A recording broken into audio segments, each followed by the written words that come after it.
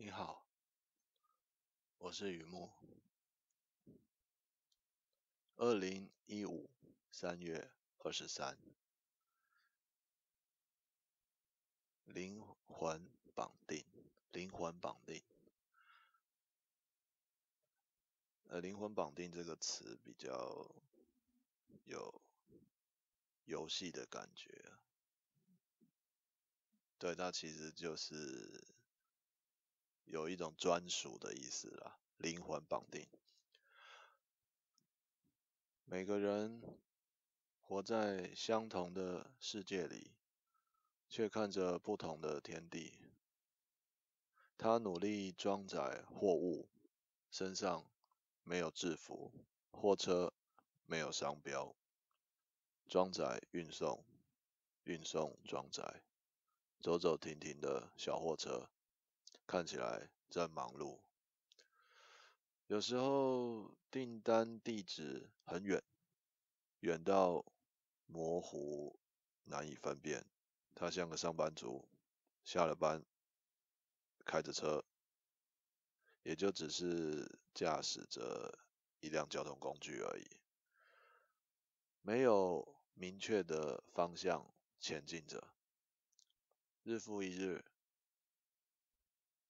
他查验，好像过去有送货过、有去过的订单地址，没有特殊的感觉。对于送货来说，这是。很寻常的现象，但是满地零散的货物，有的原封不动，有的被翻找过，被拿走了一些东西，他才明白自己只顾着送货，却忘了请对方签收。说也奇怪，别人不曾来电申诉，自己也不曾去电确认。原来给岁月捉弄了，每一张订单都来自岁月，所以也只会有一个地址，一个灵魂绑定的地址。货物属于灵魂绑定的地址，就像有些事情只有他自己知道，可以交给别人，甚至愿意告诉别人。但是人家不会收到，人家不会明了。这些灵魂绑定的货物是什么呢？好的分享不了，坏的抛弃不了，全都在他的货车上追着岁月跑。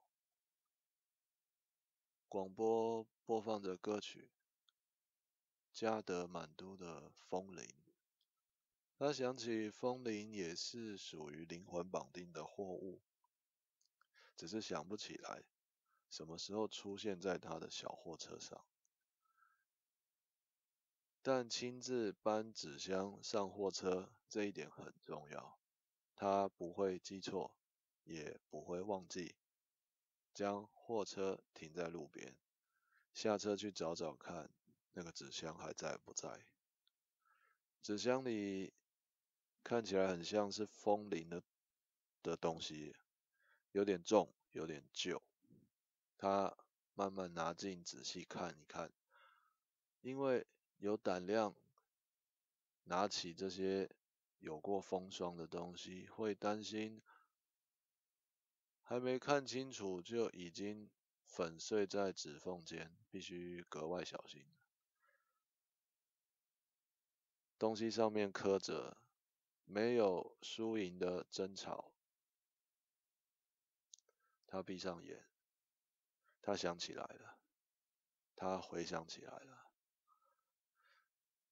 就是因为风铃一直在车上，使他知道，却仍是继续由他发生。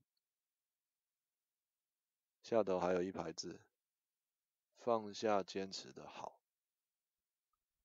这不用回想。因为他太熟悉了，那种美好一直以来听也听不懂，懂也不愿意做，做又做不好的美好。同样的，也是因为在货车上，使他不断产生相同的感触。不知道下次是什么时候，再度拥有此刻的胆量，打开这个纸箱。所以他决定写一张字条在纸箱外。字条上是：不要相信风铃会造成共鸣的启发，那只是美化人生的物理名词。